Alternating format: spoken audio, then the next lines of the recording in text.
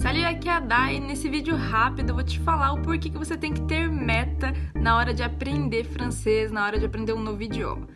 Meta significa clareza, ter clareza. Clareza é quando você sabe para onde você quer ir, tá? Você tem uma meta, você sabe, você tem aquele objetivo, tá? Daqui um ano eu tenho que estar tá falando francês perfeito, daqui seis meses eu tenho que estar tá falando francês.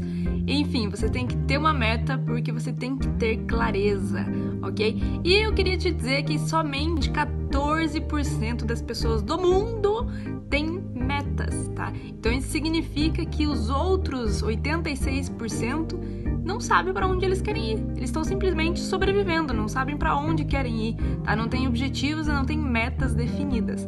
Então, o meu conselho é que você defina as suas metas. Un gros bisou et à bientôt